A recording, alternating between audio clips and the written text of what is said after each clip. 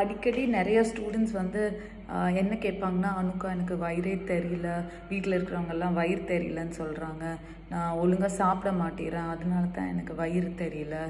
அந்த மாதிரி வந்து நிறைய பேர் வந்து சொல்லுவாங்க சரி நம்ம என்ன புரிஞ்சுக்கணும் அப்படின்னா வந்து ஒவ்வொருத்தருக்கும் ஒவ்வொரு மாதிரி வந்து வயிறு தெரியும் சரிங்களா?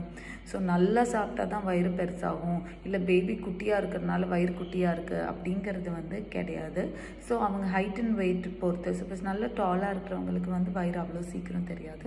ஷார்ட்டாக இருக்கிறவங்களுக்கு கொஞ்சம் சீக்கிரமாக தெரியும் சரிங்களா?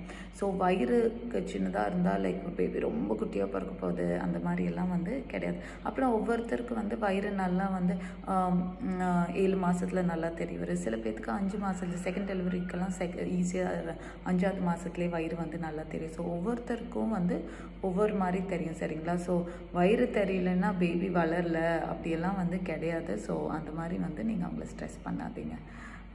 சரிங்களா?